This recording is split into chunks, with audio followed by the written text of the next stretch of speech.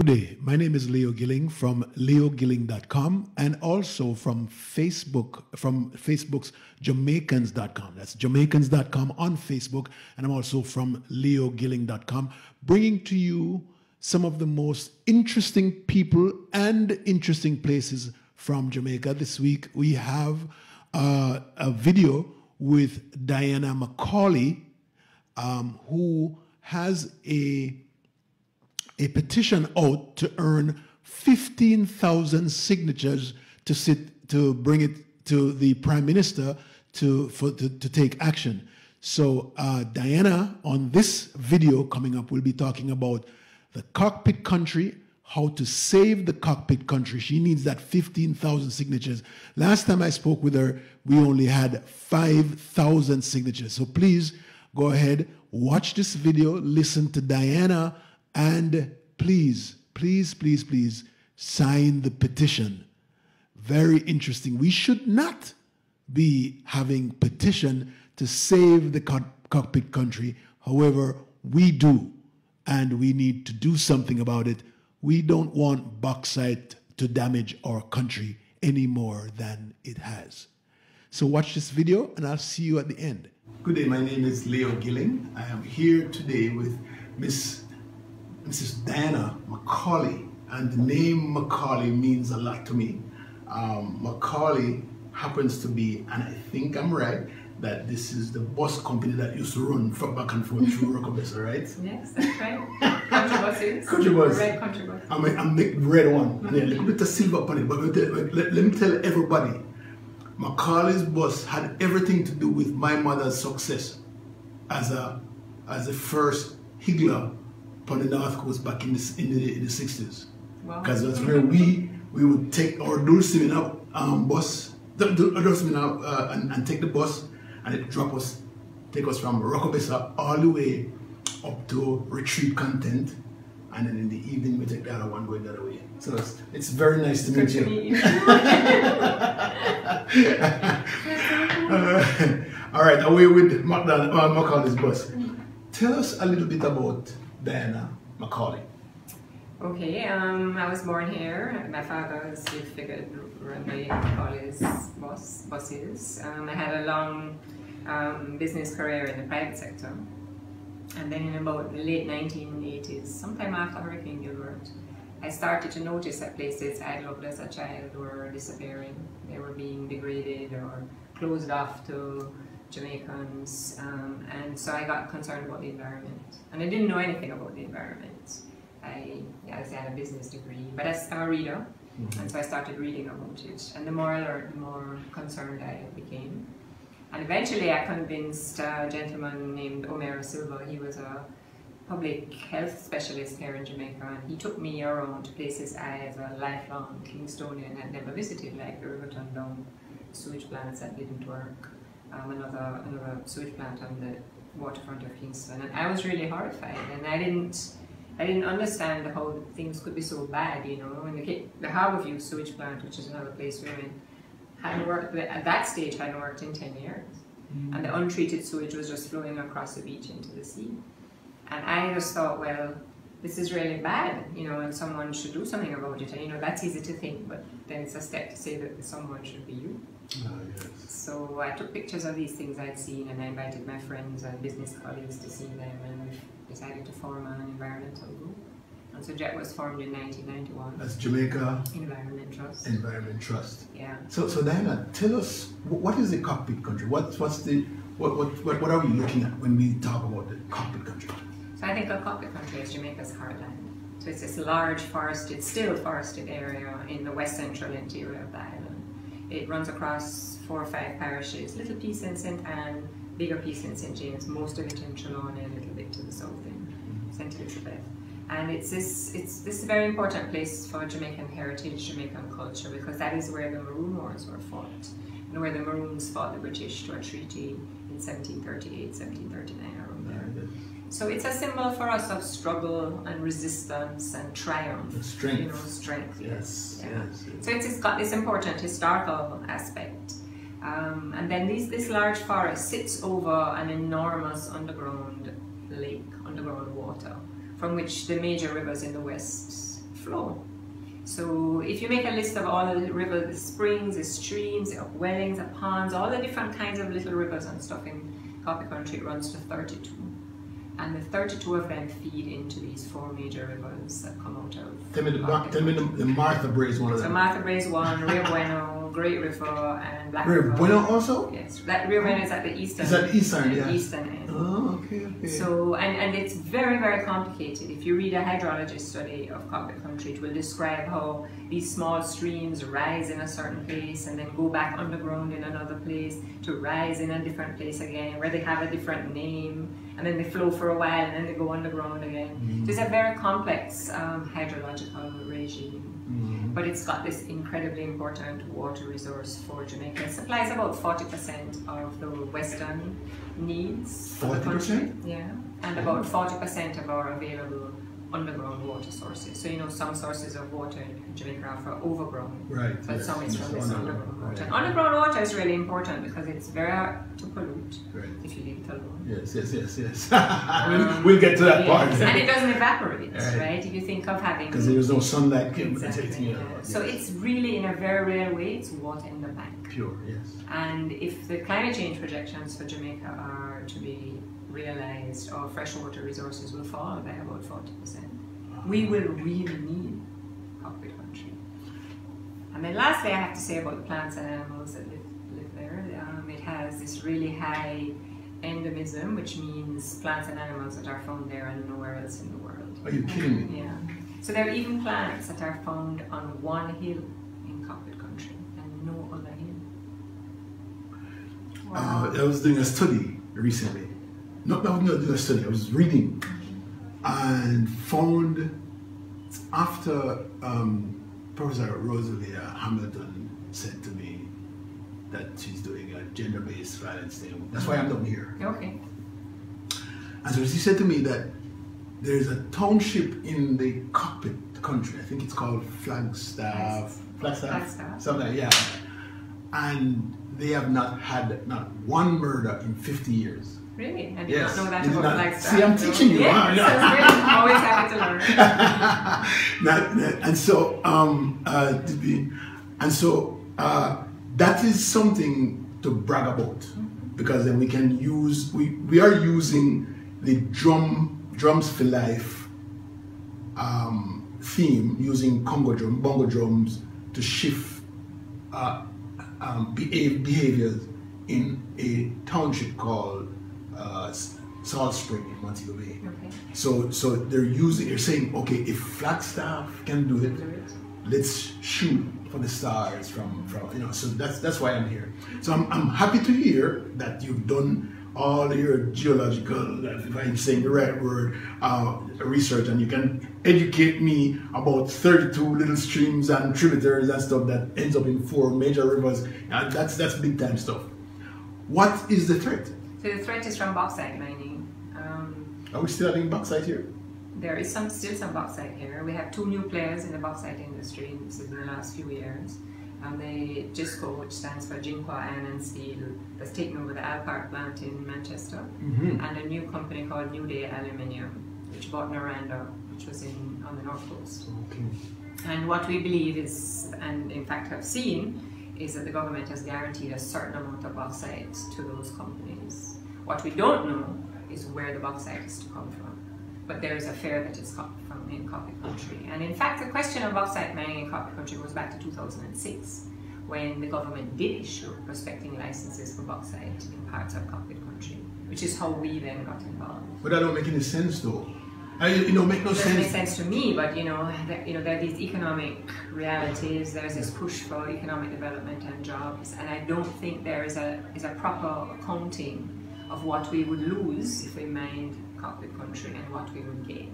I don't think that the, the maths are being done correctly. I mean, there's no there's no math needed either. I the, thing is, if you think about it, the, the kind of the kind of um, natural uh, resources that we have at Cockpit, there's no reason to even think it. We have uh, some historical value there. The same thing that we call strength and vigor and all that, and you know, and and um, and and the fact that we have those those those rivers that that, that that's that's giving us stuff, there's no reason why anybody should put that on. Why why would why would we need a, a petition for that? That don't make any sense. Yeah. One of, well, one of the issues you see is this question of where exactly is Cockpit country. Yes. And so since 2006, that question has been been up for debate. And JET worked with a group of many individuals and, and organizations formed into a loose sort of coalition called the Country Stakeholders Group back in 2006. And after a very extensive consultation between us, we proposed a boundary. Other, other agencies have proposed boundaries, so I think the government in the end ended up with about seven different boundaries that were proposed for Cockpit Country. And the idea was, once you settle on a boundary, you would protect it by law, and then what we want is for it to be closed remaining and quarrying. Ah, okay. So what would be the bond, the farthest boundary to the east and the farthest? Well, if you ask us, it's, you know, it would take in the Rio Bueno in the east. Oh, and, okay. And the, the um, the, the, the, forested area outside the ring road to the west, which is where places like Flagstaff, Flagstaff. are, okay. and then even quite far south, almost to the to the Appleton Valley in the right. south. Right. But that has not been agreed, okay. and in fact, the government has still not, after all these years, ten years now, declared a boundary for Cockpit country. So that's one of the things the petition is trying to get to happen. That people will say, look, come on, you've, you've now had all the information They've gotten these submissions from various people, including the University of the West Indies. They did a consultation with people of Cockpit country and broadly In 2013. And a big report was done by the University of West Indies, which recommended you know, type of boundary with a core section and an outer boundary and a transition zone, and also unequivocally stated that there should be no mining in Cockpit country, that the people of the area did not want it. Um, so, but they haven't acted. You know, that was in 2013, and the state has not yet acted. We think the decision about where to allow mining is imminent with these two new players I mentioned, and therefore this is why we started a campaign now to try and influence what decision is made. All right, and so, and so then um, we have we still have a lot of people living among inside inside the Cockpit country. Right, about seventy thousand people. Seventy thousand? Yeah, live along what is called the ring road. So if you look at a map, you'll see the forested area, and then you'll see there's a road that runs almost around Cockpit country. So it's a difficult, it's a difficult, you know, place to get around because you have to travel a long way around the outside to get to. Well, you know how Jamaican people are. They you, you're not moving them unless you're you're actually excavating them. you know, so so I can't see really I can't see the see us allowing.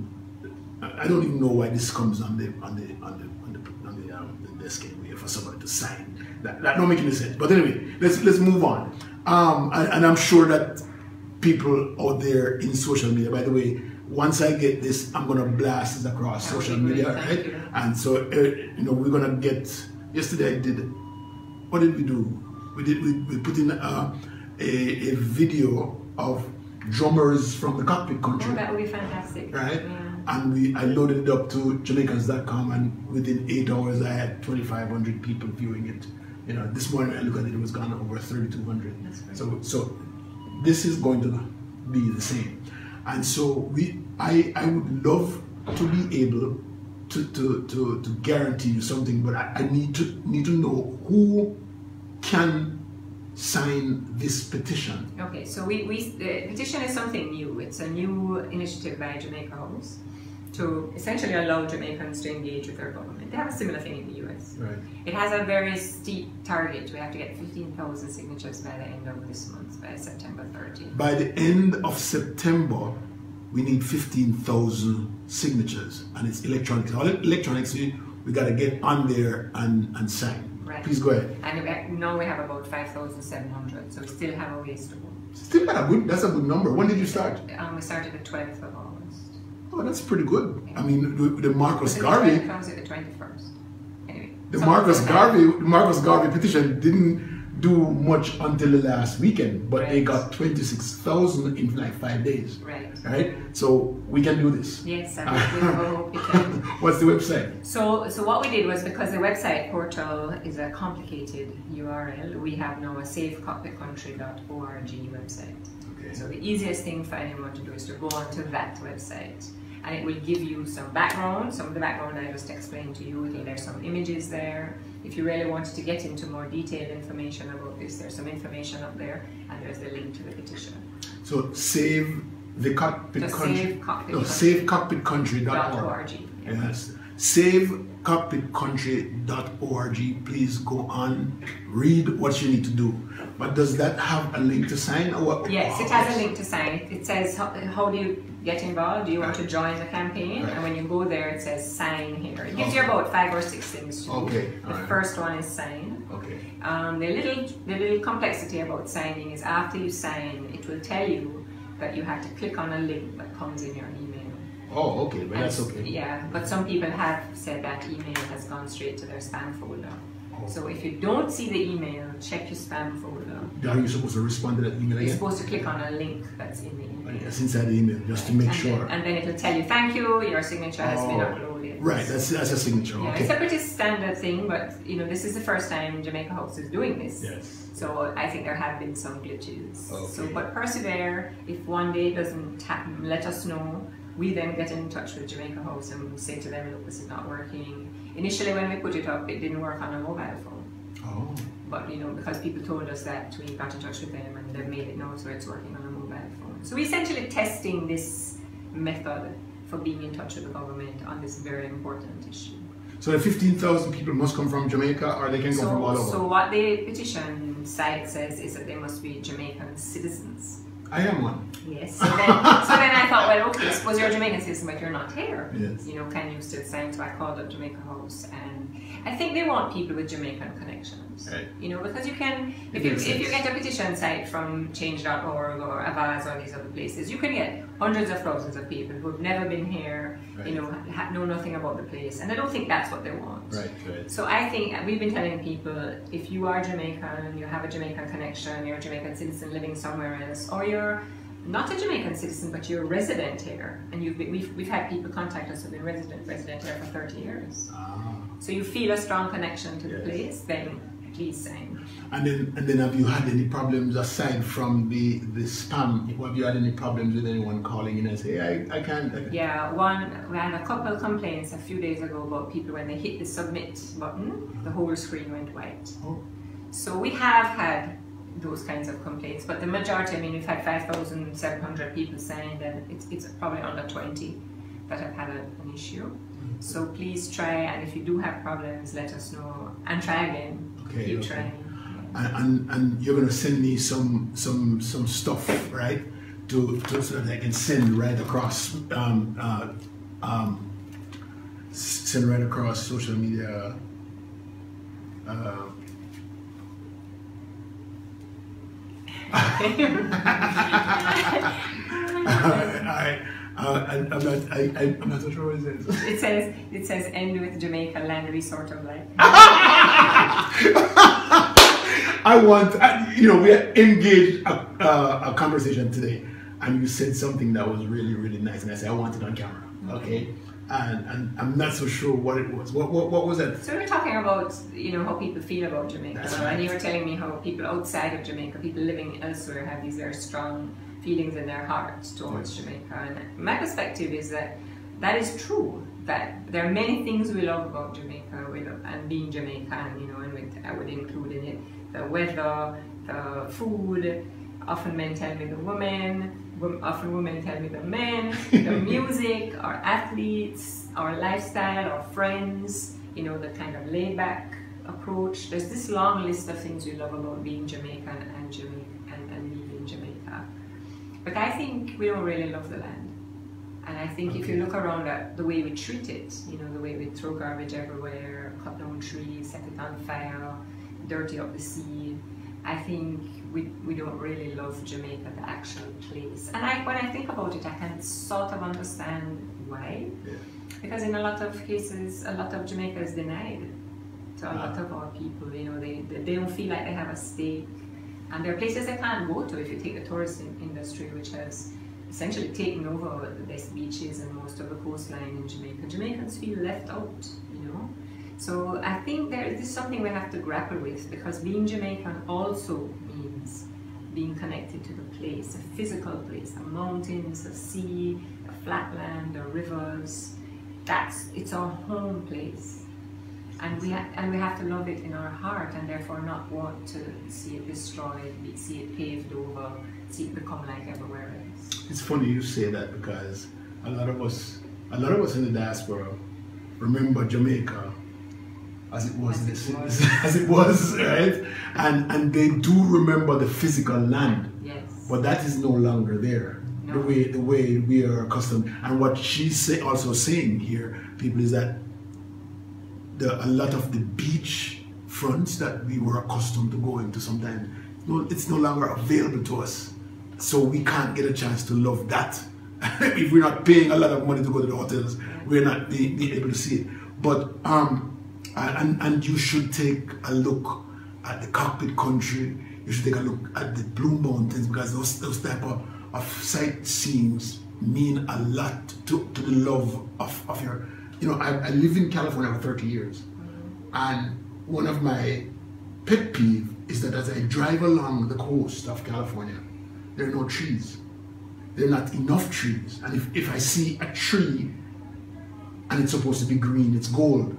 Because there's not enough sand, not enough dirt to create greenery. Even though they have drip system under, uh, under those, they, they don't come green. And you can cut a tree and put it in as a, as a firewood and it burns just as, as well as, as, a, as a um, dry, dry tree. And so when I come east and I come to Jamaica, what I love to see is the green.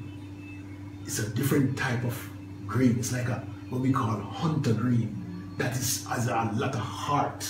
You know, and and it's the same way that when I look at the the cockpit country, I look at that heart. It's it's green. You know, I, I love it. I love it so much. So um, and you you you broke my heart when you said um, Jamaica is a land That we only kind of like. we're gonna kind of like. Maybe. so um, Sometimes I think it's a land we don't like very much. let's let's change that. Yes, Let's, let's change that. Because it's our home. Yes, You is. know, I is. lived away for 30 years. Where's, Yes. where's home? Is here still home? What you talk say? Yeah. Listen, me come out, me come out too often. I have to stop tell people that I'm coming, you know, because they get jealous. Yeah. But it's home, right? It's, It's, home in your heart. home, home, home. That's the only place I call home. I say, I say, you have to love where you live, Yes. and you have to love where you're from. Thank you very much, Dan. Thanks very much for the. And I promise you that this this video is gonna go right across, I'm going to be a champion on getting people to sign up. Thank you, So, Chris. yeah, Thank you that- so much. I- Cockpit Country we- thanks you. Huh? Cockpit Country thanks you. Cockpit country. Since it called you. he called me. He did call me. Thank you for watching the, the, the video on Save the Cockpit Country. It is a significant thing. This, this, this should not be on a petition. However, it is.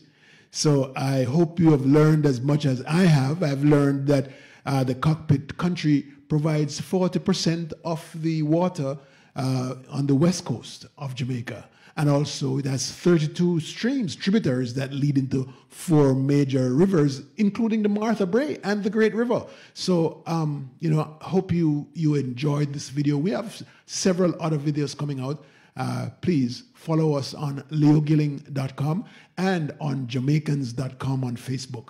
Uh, jamaicans.com on Facebook page and also leogilling.com. Thank you very much for watching. Have a nice day now. Bye bye.